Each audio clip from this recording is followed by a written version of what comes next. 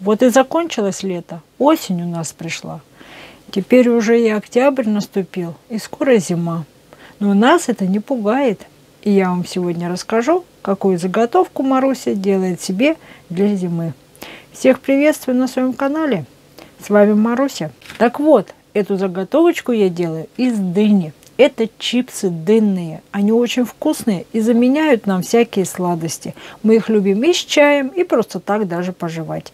Это очень вкусно. Советую всем попробовать приготовить такие чипсы. Делаю я их из дыни. И именно осенью, когда уже отходит сезон, начинается резко спадать продажа дынь, их мало покупает, и я еду на базу, закупаю большой партией и готовлю вкусные чипсы. Приготовим вместе со мной. Для этого берем дыньку. Лучше всего для этой заготовки брать торпеду. Она очень вкусная и ароматная. Другие дыни не очень вкус дают хороший.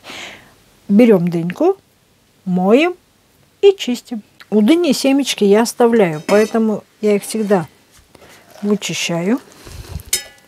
Семечки сушу и использую в муку. Дыньку нарезаю нарезаю вот такими ломтиками. Самое интересное, что если вы сделаете потоньше, это очень плохо. Сделайте слишком толстые, они будут очень долго у вас просыхать и не просохнут. Делаю я примерно вот такого размера. Самый оптимальный размер, при котором хорошо дыня сохнет. И получаются очень вкусные чипсы. Дыню нарезали и убираем сушить в сушилку. Сушу я дыню примерно 6 часов на температуре 35 градусов. Не советую повышать температуру выше 45, потому что дыня будет тогда давать очень много сока и получится карамелизованная.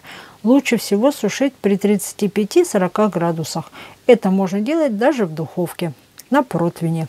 Но в сушилке, конечно, удобнее. Во-первых, больше поддонов нарезаешь, и больше процентов высушенной дыни получается. Когда дыня высыхает, они получаются вот такие ломтики. Она должна быть обязательно эластичная, вот такая вот, не пересушенная, вот такая эластичная, она даже немножко такая липкая от сладости. Все, теперь я их складываю вот таким образом и укладываю в бумажный пакет. Храню чипсы дынные в сухом теплом месте. Они очень хорошо хранятся, могут храниться до трех лет. Если есть желание, можно и подольше похоронить. Но лучше, конечно же, скушать сразу. Все-таки со временем продукт может прогоркать. Поэтому лучше всего съесть в первый год и приготовить свежий на следующий год. Очень вкусные чипсы, попробуйте. Они заменят вам любые сладости, и конфеты, и всевозможные вкусняшки. Они очень вкусные. Их можно просто так жевать. Можно деткам давать. Они очень приятно жуются и совершенно не вредят ни зубам, ни нашему организму, потому что они и вкусные, и полезные. И сохраняют еще в себе много полезных веществ.